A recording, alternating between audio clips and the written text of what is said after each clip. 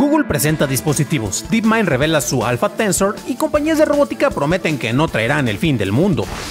Estas son las noticias de Tecnología Express con la información más importante para el 6 de octubre de 2022.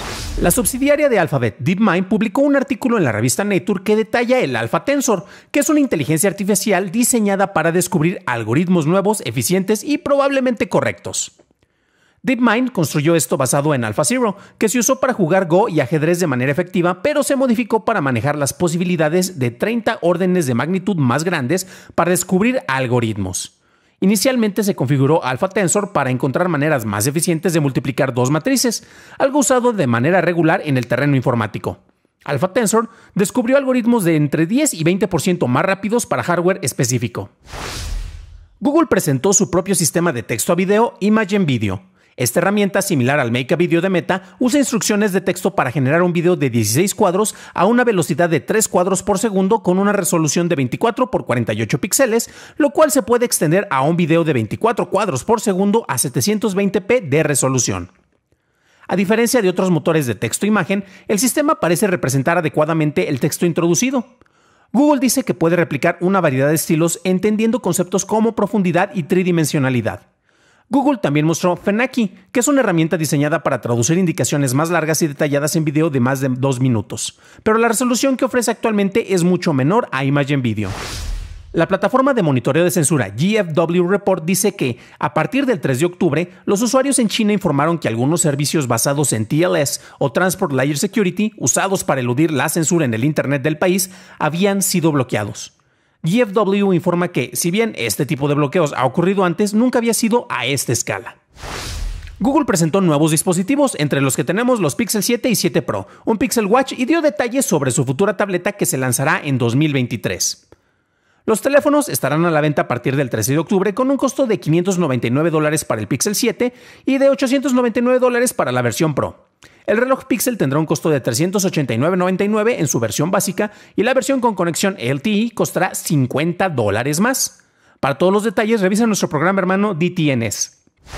Pasamos a la noticia más importante del día, y es que varias compañías de robótica, entre las que se encuentran Boston Dynamics, Agility Robotics, Anibotics, ClearPath Robotics, Open Robotics y Onitree Robotics, se han comprometido a no apoyar el uso armamentístico de sus productos, e incitan a otros miembros de la industria a hacer lo mismo. El CEO de Boston Dynamics, Robert Plater, dijo en un email que para que esta tecnología sea aceptada ampliamente en la sociedad, el público necesita saber que puede confiar en ella y eso significa que necesitamos políticas para impedir el uso por parte de actores maliciosos. Esas fueron las noticias y ahora pasamos al análisis. Pero antes de hacerlo, déjanos una calificación de 5 estrellas en Spotify o en Apple Podcast o un like en YouTube que no te cuesta nada.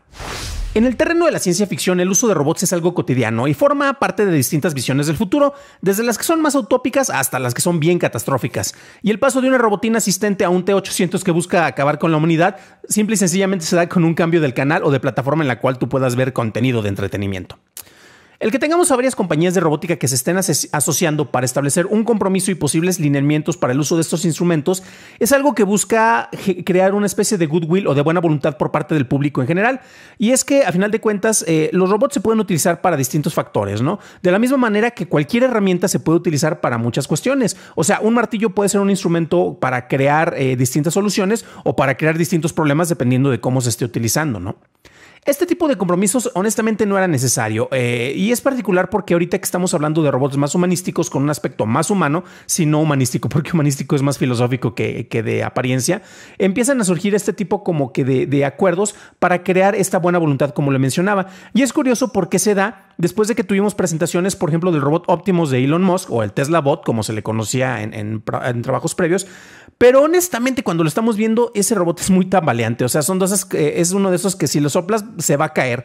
Y el mayor logro que hemos tenido con los robots, eh, por ejemplo, con el, en el caso de Honda, era que podía subir escaleras. Y los que se han estado mucho más avanzados son precisamente los de Boston Robotics, los cuales muestran un movimiento ágil y de repente uno los ve y sí se ve bastante extraño. Los que parecen como unos perros de cuatro patas son bastante ágiles. Incluso ha habido unas pruebas en sus primeras versiones en las cuales tenías un humano que los pateaba y algunos hacíamos la broma de que por eso las máquinas van a querer vengarse de nosotros, ¿no? Pero son los que están más avanzados y por eso es importante eh, la inclusión de Boston Robotics dentro de este acuerdo en el cual teníamos cinco, compañías.